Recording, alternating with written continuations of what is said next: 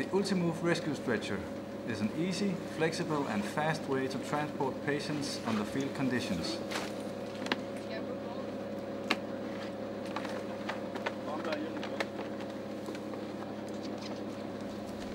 The space inside the rolled up stretcher are to be used for medical bag, blankets and cervical collars.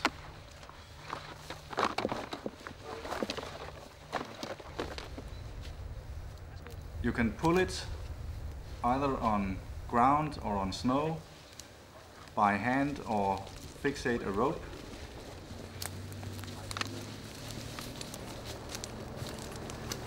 The handles makes it easy for two or more persons to carry the stretcher.